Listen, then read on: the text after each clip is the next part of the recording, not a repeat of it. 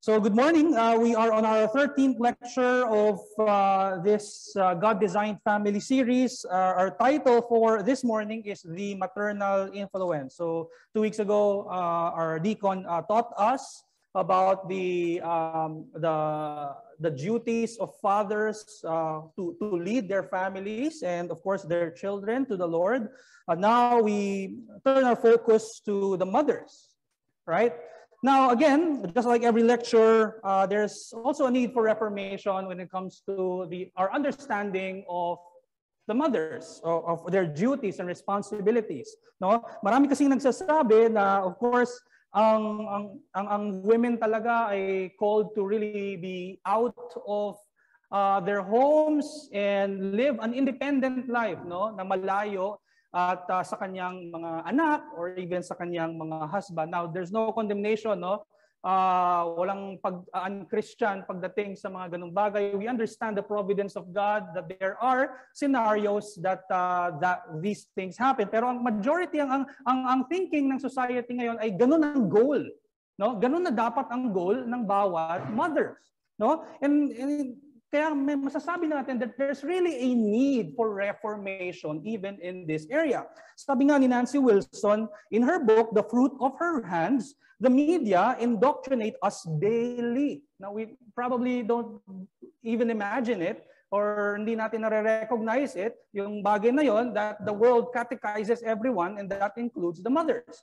So, media indoctrinate us daily, referring to the women. The news berates biblical views of wives and motherhood.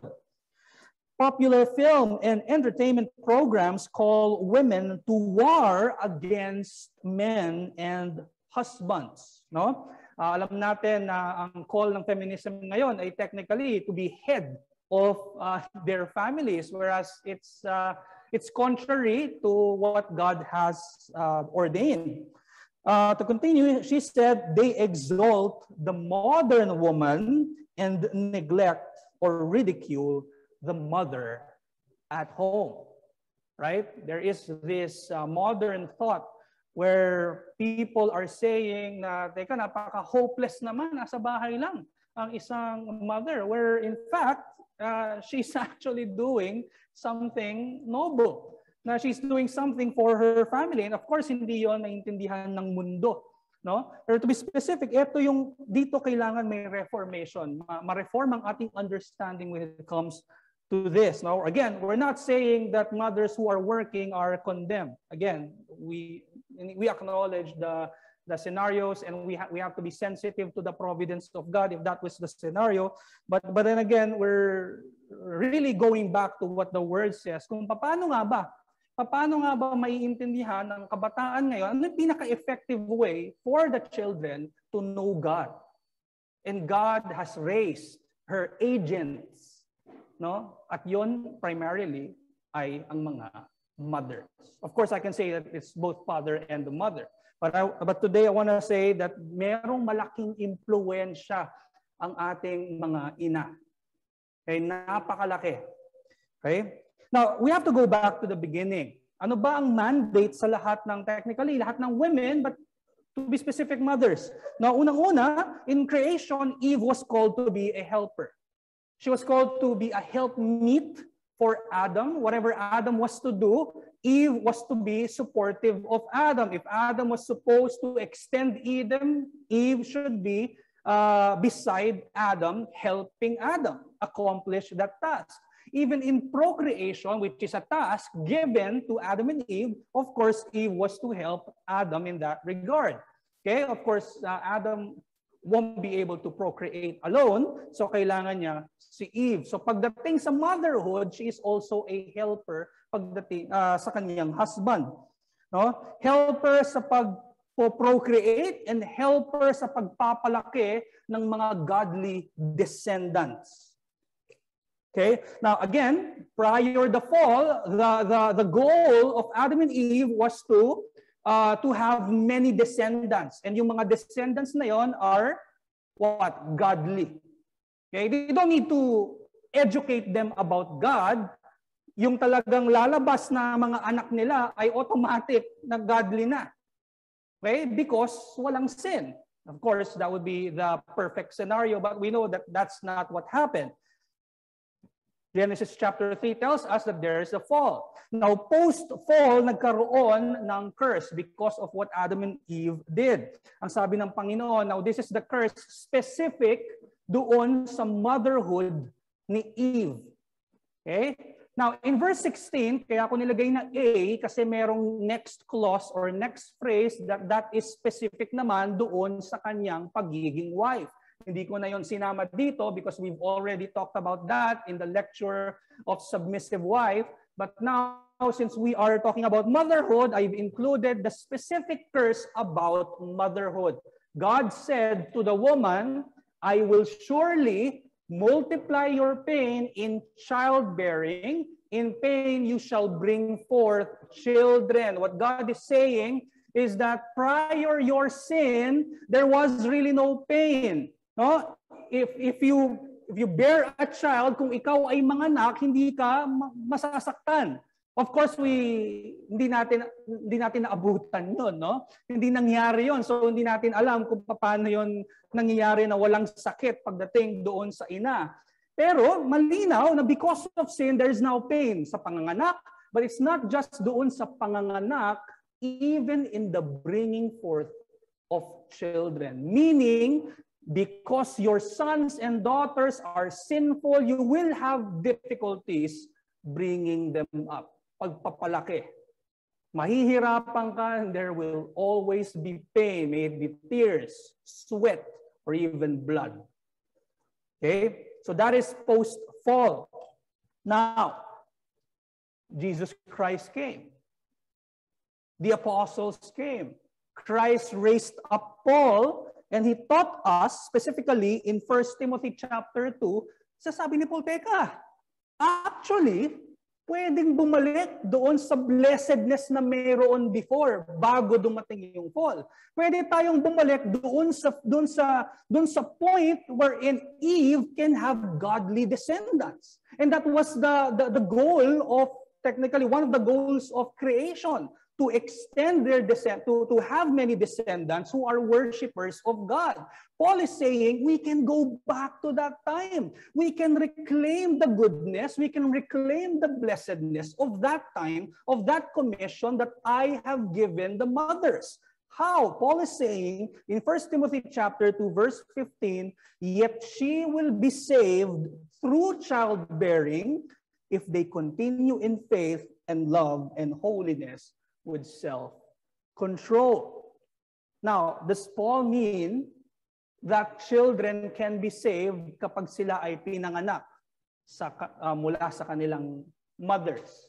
Na automatic sila ay magiging godly descendants. Does yung ba ibig sabihin nito, yet she will be saved through childbearing? Or it's not? Dahil hindi naman tayo naliligtas by being born the first time. Or does this mean na uh,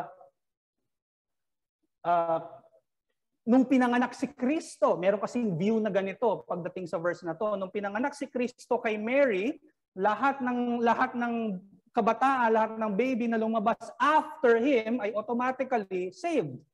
Of course, that's not right. That's not what the Bible says. The Bible, the, the, the Paul, the one who wrote this, uh, tells us that you can be you are saved by grace through faith in Christ alone. What this is saying is that to, you are fulfilling the will of God through childbirth by accepting the, the mother by accepting her role of motherhood that she will influence her children and of course the world. It is through the vocation of motherhood and raising children that she will fulfill God's command. It is through her bringing up. It is through her educating her children to the saving knowledge of Jesus Christ. That is the way that she is fulfilling the will of God. Sabi nga ni Philip Ryken, sa kanyang commentary on 1 Timothy, referring to that verse. Childbearing is thus taken to represent a woman's calling, to be specific, the mothers. It is the feminine role par excellence. and therefore it serves as a kind of shorthand for a woman's home life. The place where a woman will find her true sanctification is not in the authoritative teaching office of the church. Yung, yung, that was the, the, the context of First Timothy na sinasabi niya na kailangang uh, tahimik. The, the women should be quiet in the church. And what he meant by that, he, they should submit to the authorities of the church, meaning that they should not have an office, a, a preaching office, a pastoral office. So the place where a woman will find her true sanctification is not in the authoritative teaching office of the church, but in the domestic sphere. Not that all women are called to be mothers, of course, but all women should embrace their feminine identity as life givers, which is biologically signified in the capacity to bear children. Uh, again, when Adam named the woman Eve, he named him after the fall. At ang pangalan ni Eve ay Eve, which means mother of all living. Meaning someone who gives life, life giver. From being a helper, now it, the, the, the, the name of Eve gives the mothers a new purpose, a new meaning na sila ay tagabigay buhay. Hindi lang through childbearing, but through spiritual uh, uh, uh, giving of life. Of course, nangyayari yon if they uh, bring them up in the knowledge of Christ. Sabi rin ni J. Ligon Duncan in his book, and uh, book nila ni Susan Hunt, na women's ministry in the local church, sabi, because of her rebellion, the woman became a life taker, but because of the promise of life, she became a life giver. This is more than biological. Woman's redemptive calling is to be a life giver in every relationship and circumstance. Okay? So again, a mother can reclaim the blessedness of her commission by her by bringing her children up to the saving knowledge of the Lord Jesus Christ. This is what Paul is saying that children can be saved through childbearing by letting them know who Jesus Christ is, by teaching to them holiness, self-control, faith, and love in Christ. And so let's look at the influence of the mothers. Now, if, if, you, if you look at the back of your handouts, uh, again, you would see usually, usually, diyan ko nilalagay sa huling references, uh, yung mga references na nilalagay ko dyan are basically also uh, books that I would recommend uh, everyone to read, especially mothers. Now, uh, of course, hindi natin matatakal lahat ng lahat ng pwedeng maging influence ng mother sa sa kanyang mga anak in, in one lecture. So, I recommend reading these books. So, let's let's look at uh, siguro so nagbigay ako ng parang ito yung pinaka uh, summary, no? ng ng na, na, na influence ng isang mother sa kanyang children. Unang-una pagdating sa religion. Okay? Pagdating sa religion, we need to uh, understand, no, the mothers need to understand that the home is the everyday sanctuary of religious instructions. Right?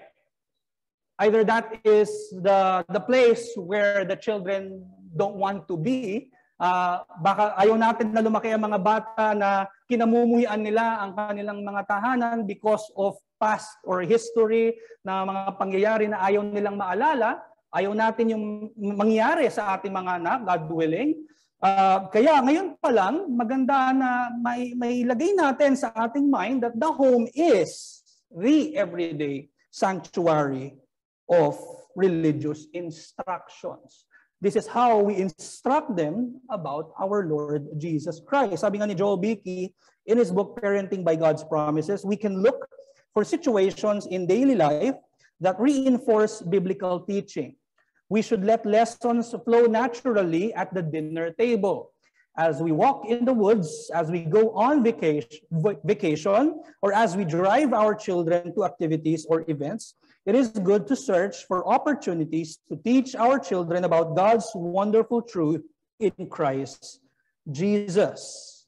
So see, that's like Deuteronomy chapter 6, whatever we do, uh, it, it should be whether we kahit nasasabi natin o nakapakita natin, uh, medyo mahirap yung ganon, right? Pero yung sinasabi sa atin ng scripture na maging aware tayo sa ating mga salita, maging aware tayo sa ating mga uh, gawa. So mo- mothers are to model for their children a continual coming to Christ both in prayer and in re- reading scripture. Uh, nangyayari sa mga tahanan that there are difficult times and it's great to see children seeing their mothers coming to Christ for grace to help in time of need. Sabi sa Hebrews chapter 4 verse 16, let us then with confidence draw near to the throne of grace, that we may receive mercy and find grace to help in time of need. We now have access to this throne of grace because Christ is our high priest and at the same time our sacrificial lamb. That's why we can now approach his throne of grace in prayer. It's nice for a child to see his or her mother uh, doing this. During, of course, difficult times. But in good times, during good times, the children will see mothers go to him with thanksgiving for his mercies. And then day by day, the children will see mothers walking by faith, depending on Christ for all things. At sinasabi natin sa Deuteronomy chapter 6, verses 4 to 9. No, ang mga instructions sa, sa mga Israelites na kailangan nilang gabayan ng kanilang mga anak so that their children will know who God is. Kasi most of them ay probably hindi naabutan ang ay, karamihan sa kanila hindi nila naabutan yung wonders ni God, especially when He parted the Red Sea. That's why that information is very important to uh, to pass on sa kanilang mga anak. Lagi nila yung sinasabi sa kanilang mga anak so that they would know who God is at anong ginawa ng Diyos sa kanila. So sabi dito sa Deuteronomy 6, Hear, O Israel, the Lord our God, the Lord is one. So may confession dito, no? You shall love the Lord your God with all your heart and with all your soul and with all your might. Ito sinasabi ng Panginoon na sabihin nyo sa inyong mga anak. Kailangan nyo mahalin ang inyong ang Diyos hindi lang kayo magsasacrifice. Kapag kayo nagkasala, kuha kayo ng sheep, wala kayo ng ram, kuha na kayong turtle dove, mag, magsasacrifice kayo ng, ng walang pagmamahal. You shall love Him. You shall do it with love. Because He is our Lord, He is our Savior, He saved us from the bondage that we had with Egypt. He, he, he freed us from that slavery. So sabi rito, these words that I command you today shall be on your heart. You shall teach them diligently to your children and shall talk of them when you sit in your house and when you walk by the way and when you lie down and when you rise. You shall bind them as a sign on your hand, and they shall be as frontlets between your eyes. You shall write them on the doorposts of your house and on your gates. God is saying, do everything you can, do everything so that they will know me. Okay? Now, teka, Pastor, Old Testament yan eh. Hindi na naman ano yan eh. Do you think the principle stopped when Jesus returned?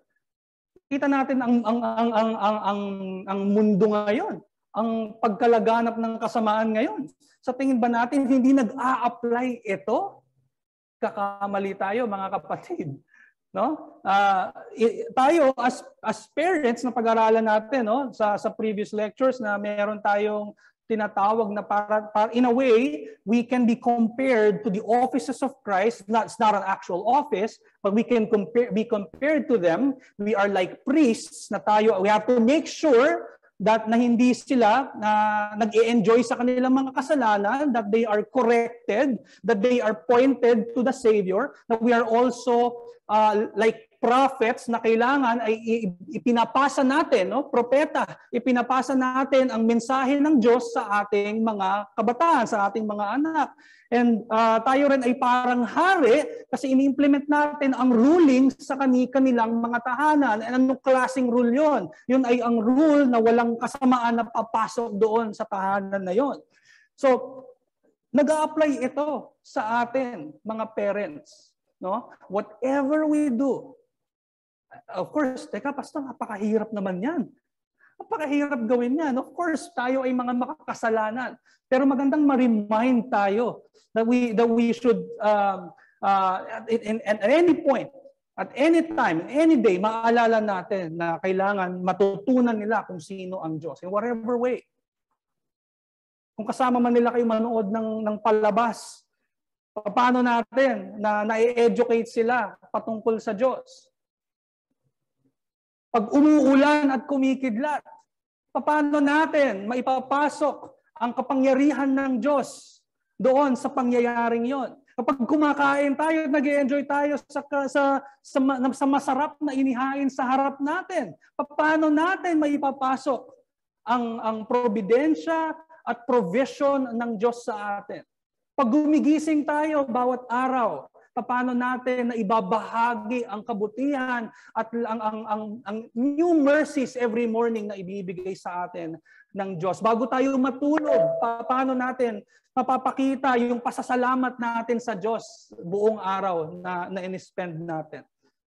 So maganda na ma- maalala natin ang mga ganitong uh, uh, uh, scripture text, no? Uh, para para at least ay makilala ng ating mga anak ang Diyos. Sabi ni J.C. Ryle, you cannot make your children love the Bible. None but the Holy Ghost can give us a heart to delight in the Word. That is true. It is only the Holy Spirit who can change the heart of a person so that we that person would be so interested in the word so that that person would even just spend time and look for Jesus in the word. It is only the holy spirit. In fact it is also the holy spirit who illumines to us the word. It doesn't just change our hearts. Binibigyan din tayo ng binibigyan din niya ng liwanag yung yung text yung bible so that ma- naiintindihan din natin. Totoo yun. It is the holy ghost. It is the holy spirit. However you can make your children acquainted with the Bible. Be sure they cannot be acquainted with that blessed book too soon or too well. Okay? So tayo ay mothers specifically are being used for their children. Sabi ni John S.C. Abbott pagdating naman sa influencing on religion pagdating sa prayers. Sabi ni John Abbott sa kanyang book na Mother at Home, the still the still small voice of a mother's prayers rose above the noise of guilty revelry. The pious mother, though dead, kahit patay na raw ang ina, at, uh, at, ang, at ang lumaking anak ay, ay dumadaan sa kanyang struggle with sin, it still continued yung mga prayers na narinig niya before. It still continued to speak in impressive rebuke to her dissolute son. So what a what what a wonderful thought, no? Na may mga epekto itong mga bagay na to sa ating kabataan, sa ating mga anak na kahit wala na, ito'y naaalala nila. And take note, this affects them as well. God uses these things to change our hearts as well. So ang religion, so kailangan natin intindihin that the home is the everyday sanctuary of religious instructions, but also consistent corporate worship in the Lord's Day ay malaking impluensya ito sa ating mga anak. One of the greatest opportunities for children to know the Lord is through corporate worship. Okay? Because His people is called for corporate worship. Ang mga kabataan ay kailangang matrain ang kanilang ang, ang kanilang mga tenga sa preaching of the word. Of course, hindi nila yon na naiintindihan pa ngayon. Marahil ginagaya pa nila. Pero that in itself is training them natitrain sila sa mga ganong uh, scenario. Pag naririnig nila ang salita ng Diyos, binabasa, kinakanta, itinuturo, natitrain ang kanilang mga tenga. But also train their, their eyes and their mouths to speak to other saints. Train their eyes seeing the fellowship of the saints. I-train natin sila sa ganung bagay. I-train natin sila na tipong kapag, kapag hindi linggo, tatanungin nila kailan ang Lord's Day. So first on religion, but secondly and lastly, again, this is more like a summary. So I, I, I recommend reading a lot of these books that uh, I reference at the back. So on character, of course, malaki ang epekto ng, uh, ng mothers sa character ng kanilang anak. Hindi ito nasi-separate from her influence on religion. Yung, her character is an expression of the love flowing from, from her understanding of the love of Christ, the gospel. Sabi ni J.C. Ryle, train up your child with all tenderness, affection, and patience. I do not mean that you are to spoil him, but I do mean that you should let him see that you love him. Love should be the silver thread that runs through all your conduct.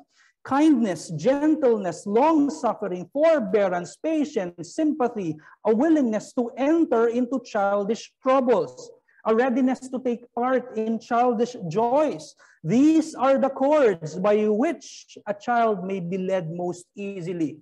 These are the clues you must follow if you would find a way to his heart. Now, very important itong pagmamahal. Kasi we may be into worship, the teaching theology sa ating mga bata, teaching catechisms, but we forget love. Nakakalimutan natin yon. After that worship time, and then we go back to whatever, you know, uh, parang hindi tayo dumaan doon sa sa worship time, no? Nakakalimutan natin yung pagmamahal na very important na tumatatak sa mga puso ng mga anak. Of course, this is a challenge for for everyone, for all of us, no? So part of the task of both parents is to dis discipline their children. Uh, we will tackle uh, more about that next week sa ating lecture na disciplining children. Now, the mother has this great opportunity to show her son what characteristics he should look for in a wife when he grows up. Uh, I, I want a wife that's like my mother. Yun, yun, yun yung gusto kong hanapin sa asawa. So see the influence of a mother. The mother also has the opportunity to, to show her daughter what characteristics she should have when she gets married. So again, very important. Joel Beakey said at uh, shinare niya yung uh, how the Puritans did it. Sabi niya, the Puritans used to stress that a child is as warm wax, wax he will bear a seal that is impressed in, on him throughout his life.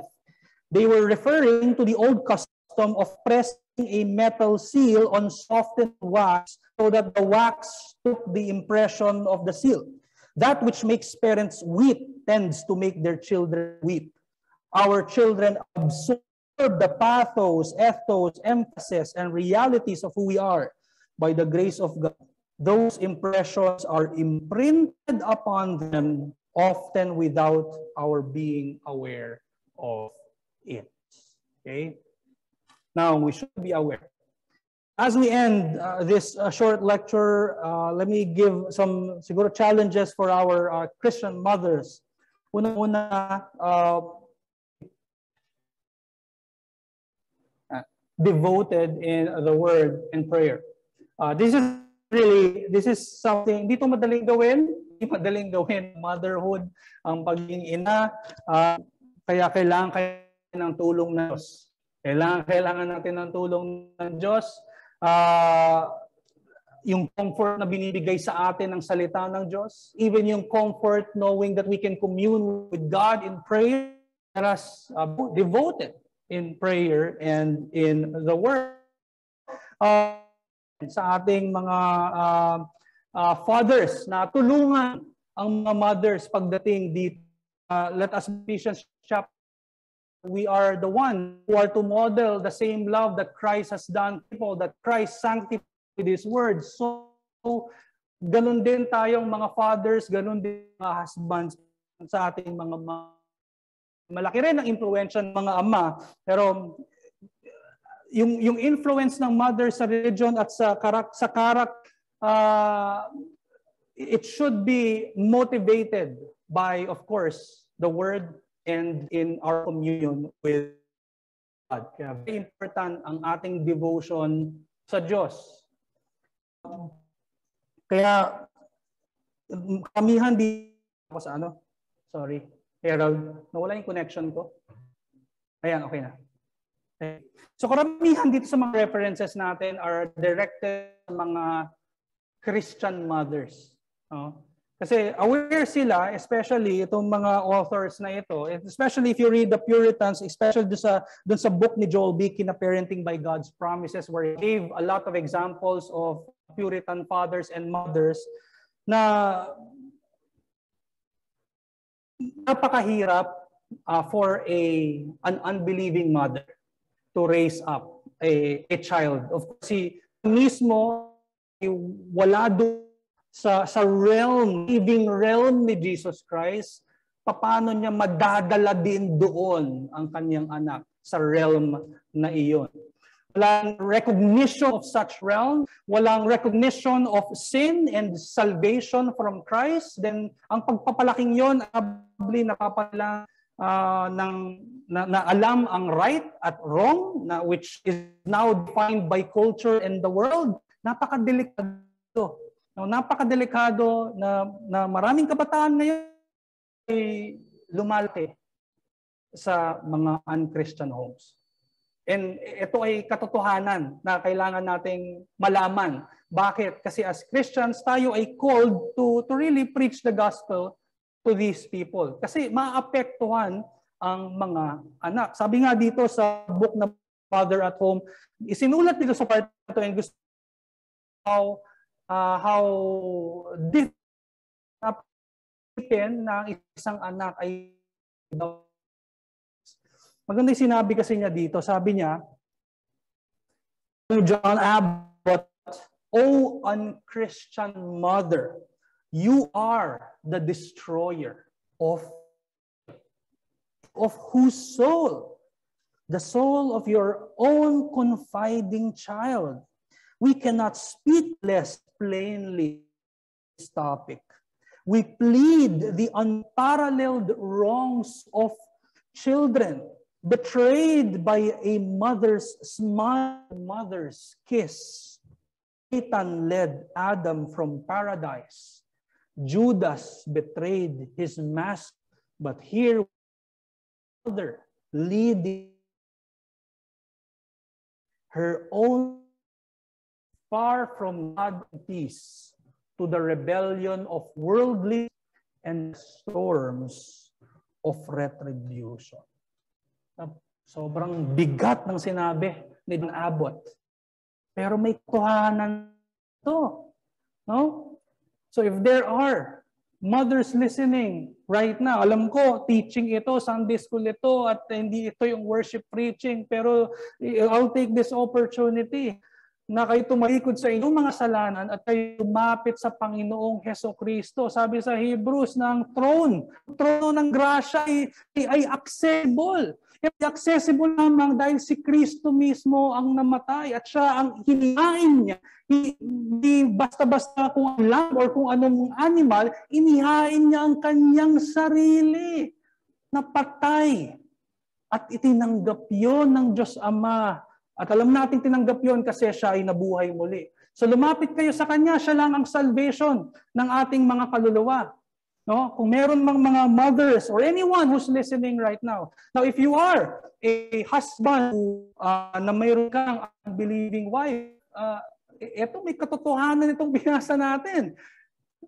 Uh, wag natin sayangin ang oras na ito at uh, maiwan natin uh, ang magandang ating mga asawa at kung ikaw ay isang anak ng isang unbelieving mother, uh, umuwi ka ngayong hapon na ito after ng Lord's Day worship mo at with joy, i-present mo ang religion mo with joy in your heart. I-share sa Kanya kung anong ginawa sa iyo ni Heso Kristo para, sa, para sa Kanyang kaligtasan.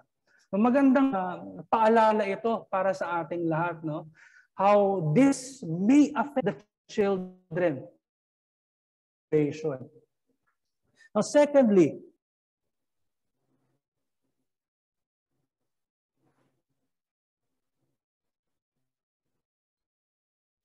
Yeah, I think nagahang yung iPad ko.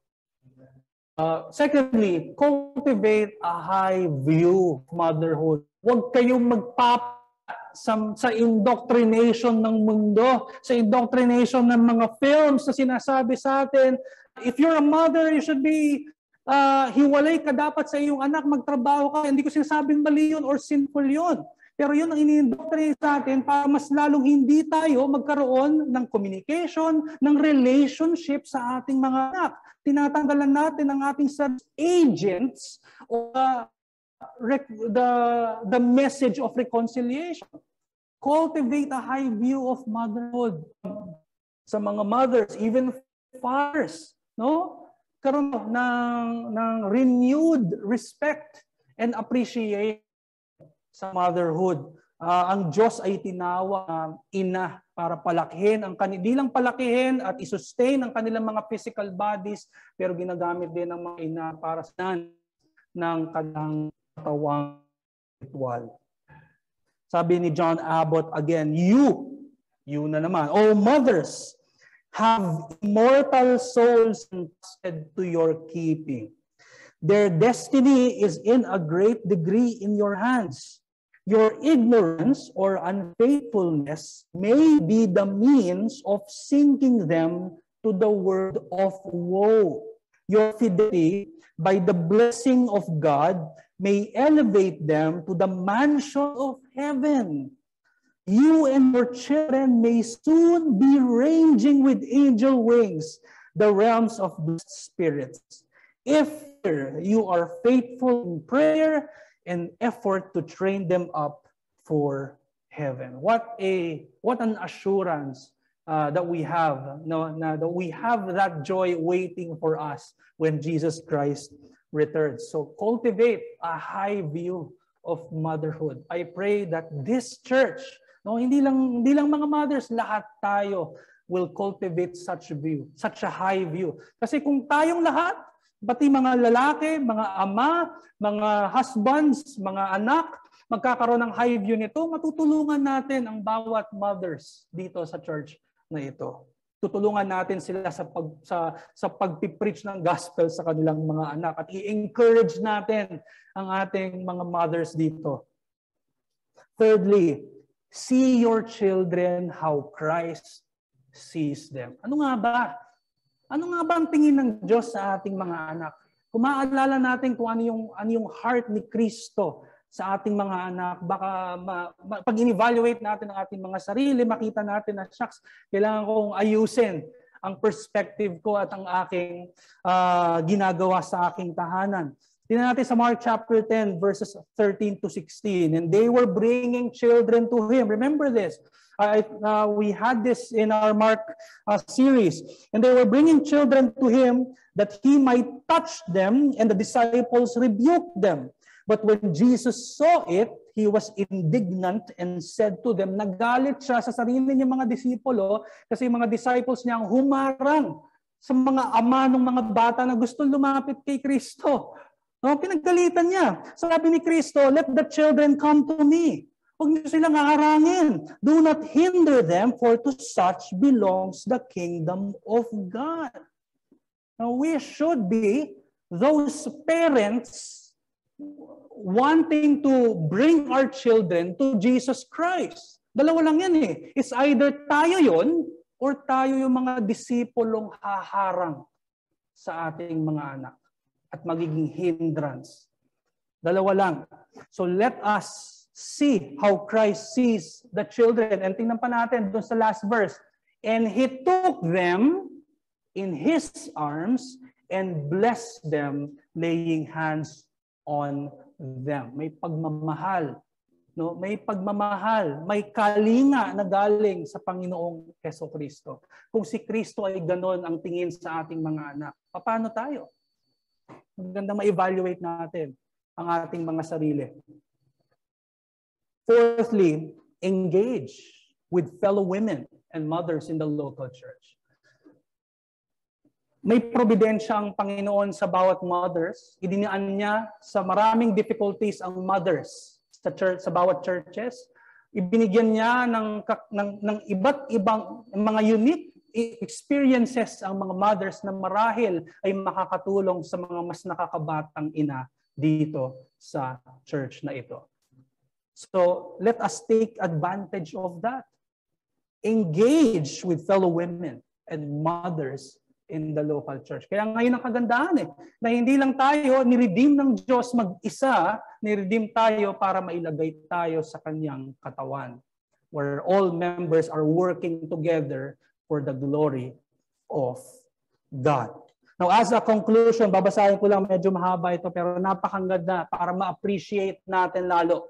No, sabi ni John Abbott, when a son leaves home and enters upon the busy world. Many are the temptations which come crowding upon him. If he leaves not his mother with established principles of religion and self-control, he will most assuredly fall before these temptations. Sinasabi ni John Abbott na kung siya ay umalis na ng tahanan at hindi niya na-experience yung influence of religion mula sa kanyang ina, ay he will most assuredly fall before these temptations. To continue, he may indeed fall, even after all a mother has done or can do. And he may become deeply involved in guilt but he may apparently forget every lesson he learned at home. That is true. While the influence of a mother's instructions and a mother's prayers is yet working powerfully and effectually in his heart. Marahil there are those days na akala natin na parang okay, this, this is just a simple day. Uh, one of those days na talagang okay, we just read the scripture and we just prayed for someone in the church, yun ay something na pwede niyang maalala pag siya ay lumaki, especially kapag siya ay napunta sa situation where he need to remember these things, where he needs to be reminded of the grace of God. Okay? He will think of a mother's tears when remorse keeps him awake at midnight or when danger threatens him with speedy arraignment at the bar of God. The thoughts of the sacredness of home will often throw bitterness into his cup of guilty pleasure and compel him to sigh for the virtue and the peace he has forsaken. What, ano bang ginagawa ko sa buhay ko? Pag naalala ko yung aking mother na iyak ng iyak, praying for me when I was a child, praying that God would quicken my spirit so that I would know and I would learn who Christ is so that I would surrender my life to, to the Lord and Savior Jesus Christ. Now, ngayong ginagawa ko itong mga kasalanan na ito, ini-enjoy ko siya, pero naalala ko ang aking ina, nung bago pa siyang mamatay, siya'y umiiyak at ako'y pinagpipray niya. At araw-araw niya pinib, sinasabi sa akin ng magandang balita. Pero nung ginagawa ko ngayon, yung sinasabi ni John Abbott, and merong uh, may katotohanan dito. And lastly, he said, at any event, it shows the strength of maternal influence. It shows that years of wandering and of sin cannot erase from the heart the impression which a mother's instructions and a mother's prayers have left there. So see, again, be so devoted to Christ, to his word, and to praying to the Father mediated by the Son, by the power of the Holy Spirit. Be devoted in word and in prayer. But also cultivate a high view of your position. It has, we can reclaim the blessedness of that commission by bringing your children up to the Lord and Savior Jesus Christ. But also engage with fellow Christians who know more, who have lots of experiences about rearing up their children. But also see how Christ sees your children. Christ loves them in a way that he would want to hug them and they would want, Christ would want your children to unhindered, joyfully coming to him. So that ends our uh, Sunday school lecture. Our topic next week is about disciplining children. Any questions?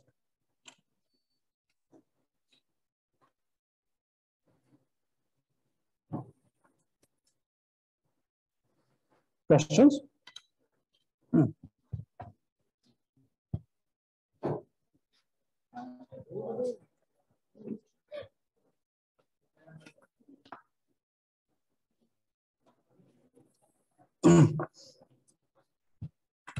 Hello, Pas. Question lang. For a family po na yung parents are unbelievers, so um, obviously yung mother uh, is failing dun sa in, ano um, using her influence in leading or teaching her children uh, sa word ni God. So um, if there's parang a providence na there's someone in the family uh, who is a believer, should that person take yung role or responsibility na yon? And if yes, ano yung considerations na kailangan or kung um, medyo na parang na na dito na violate niya ba yung parang pag natitik ba niya yung parang responsibility ng parang fed, ano pagiging federal head ng man and also if not uh, what should that person do ganun? Uh, that's Thank a great you. question, Angge. So uh, you're saying that that person is the only only Christian in the house? Yeah, yes po. Okay. So uh, kailangan ba nating hintayin na okay, teka, responsibility 'yon ng federal head. Uh, then sige, hintayin ko na lang and I'll give way. Uh, it's a responsibility of every Christian uh, technically to to to preach the gospel, to proclaim the gospel. Uh, tayo ay mga uh, in a way, sabi nga ni Paul sa Ephesians uh, chapter 3 that we are partners with him in his ministry of the gospel. Sinabi din niya uh, sa 2 Corinthians, uh, sinabi rin ni Paul na since na-receive natin ang message of reconciliation, we have it, we should also be spreading it. Dapat binibigay din natin ang message of reconciliation which is the gospel. So uh, we don't need to wait for it, it's not a kumbaga parang okay it's the, the preaching of the gospel is not just a sole uh, responsibility of a federal husband of a husband ito ay responsibilidad ng bawat isa Kristiyano. Ang, ang ang responsibility ng federal husband is to love his wife. Um so pas uh, parang yung sa context po kasi kanina ng teaching is parang tuloy-tuloy po siya. So parang hindi po siya yung ano one time na sharing ng yes. gospel yep. dun sa ano sa ibang member ng family. Yep. So um my question is um ano yung mga dapat i-consider na nung person ang magtitik ng responsibility na in teaching at yung ibang members ng family kasi ano kanina nabanggit din na the parang syempre um parents yung uh, the father, parang i-help niya dapat yung mother. Yep. So, in a sense, ay uh, yung one person na believer, ano, parang maybe, ano, parang yon ano yung dapat niyang i-consider? Ano yung dapat niyang i-consider? I-consider in, parang teaching. Okay. Yung, mm-mm. So, I think, when we, when we, um, kapag naisip natin yung sinasabi na okay, i-proclaim natin ang gospel sa ating mga tahanan, marahil uh, majority of us think na okay it needs to be a sit okay we have to be sit seated down and it has to be a bible study of some sort uh, technically hindi naman necessarily oh, i mean that would be good pero not necessarily na kailangan umabot sa ganon for you to to just to be share to be sharing the gospel malinaw sa sa binibigay no na even even nga yung calling sa parents na kahit anong gawin nila uh, as much as possible ay ma- maipasok nila ang kaalaman patungkol sa Diyos. In a way, kung ang anak, ang only believer doon sa bahay na yon, pwede niya rin yun magawa eh. Siya yung nakakaalam ng gospel eh. So, uh, eh, kailangan, ano bang kailangan niya i-consider? Uh, be at home and spend time with your, uh, kung parents man yon na kailangan makarinig ng scripture, then be with them. Uh, kailangan nilang marinig yon at kailangan din nilang makita yon. Kailangan nilang makita ang, ang gospel ay naisa sa buhay din ng kanilang mga anak para talagang yun ang maging testimony nila na okay, ang sineshare mo sa akin ay totoo kasi nakita ko na ba, nagbago ang iyong buhay. Thank you, Paz.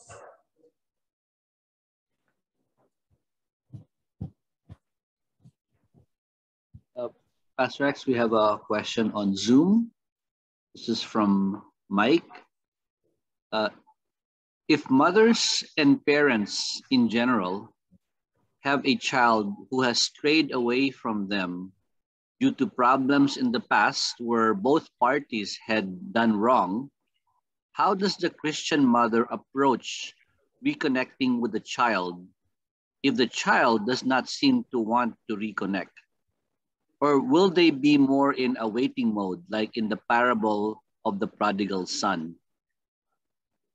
Okay, uh, thank you, uh, Mike.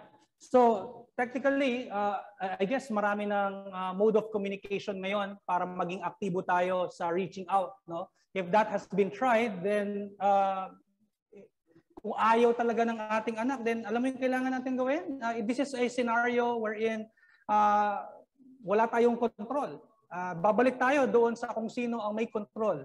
So, hihingi tayo ng tulong sa ating Diyos. No, siya lamang ang kayang uh, magbago ng puso kahit anong uh, iiyak natin, kahit gaano karami yung luha na mailabas natin, kahit gaano ka, ka, ka, kalalim ang ating mga sasabihin sa ating mga anak, yung mai-remind natin ang, ang ating pagmamahal sa kanila or even if we have asked for forgiveness kasi sabi mo na pareho na both parties uh, were wrong, uh, Diyos lamang ang kayang magbago ng puso ng ating mga anak. So, uh, I would say na yung, yung mother, uh, uh, as much as possible, ay kung, na, kung may mga opportunity, ay hindi pa rin siya tumigil doon sa kanyang pag-reach out sa kanyang anak kahit hindi nagre-reply or what or hindi nagpapakita. And then samahan mo samahan mo ng dasal no? Uh, samahan mo ng prayer sa Panginoon kasi siya lang talaga ang kayang uh, mag magbago ng heart ng iyong anak Pas, we have another... Sa... Go ahead. Dun po sa may mandate po for all women, is it a sin po ba if a woman desire not to have children? Uh, I would, will depend yan. Uh, is that motivated by hatred sa children? If that is motivated by hatred sa children and then hate, or that is a sinful anger about sa, sa children, So I guess depende yan, no? Uh, pwede namang hindi kasi feeling niya, teka baka hindi ko kakayanin. No? Kunwari may asawa sila and then after getting married ay naisip nila na na maybe it's it will be wise for now. Uh, I don't I don't think that it is an outright sin. But again, uh, titingnan din natin kasi yung motivation, bakit siya umabot sa ganung conclusion. Uh, I, I I would say na yung sinabi kong example kanina na kung meron siyang kasi may mga posibleng may mga ganun na talagang ayaw sa sa mga bata uh, then maybe it's motivated by you know by something else by by hatred toward them uh, which is contrary sa heart ni Christ. Ang model natin dito lagi ay ang puso ni Christ sa Mark chapter 10 let the children come to me. So uh, Pastor X, a similar question online is is it is it unchristian for a woman not to desire to be a mother? Is the calling to be a mother expected from all biologically capable married Christian women? Right. So again, uh, I would go back to the motivation kung bakit uh, uh, ayaw nun. Kasi it's actually one of the purposes of marriage. One of the purposes of marriage is procreation. No? Na yung yung pagmamahal ng mag-asawa ay talagang maging uh, visible, no? In a way na ito ay magpo-produce ng isang human being. So it is a uh, it is one of the purposes of marriage. But uh, I would defer doon sa ano ba yung motivation ng tao kung bakit ayaw niya magkaanak in the first place. It is the motivation sinful or no? Meron po ba na specifics na ano ba yung motivation niya? I, uh, Pastor Ash, I think the question is pretty basic na whatever the motivation, whatever the reason, it could be psychological, it could okay. be any reason, but is it sinful for a married, biologically capable Christian woman Okay. to, to not to want to have children? Is that sinful? Hindi ko siya masagot na ito ay sin o hindi kasi depende yon sa puso ng mother. Uh, it is something na hindi natin makikita externally kung ito ay uh, sorry na ano ko ba yung yung yung ano yung, yung tanong parang hindi ko masyado maano So anyway, naka, I, I guess my answer is uh, nakikita kasi whether ma, ma, ano natin kung okay, sinful ba o hindi kasi nasa puso talaga 'yon eh. Ano ba yung heart niya? Uh, she has to know na isa sa mga purposes ng marriage ay procreation. At this is something to be expected kapag sila ay mag-asawa. Okay na. Okay, thank you. Okay, any more questions? Siguro last two questions. Uh, it's already 10 na pala.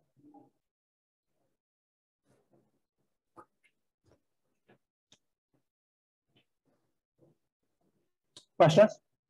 Dito po, meron pa po ba rito?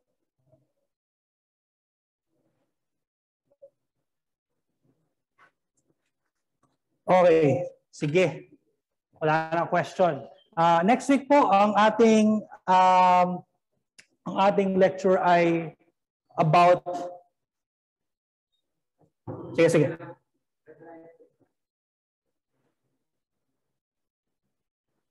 Bo, dami mong messages. Kailangan mo i-check yung messages mo. Dami, oh. Ay, hindi ba sa'yo?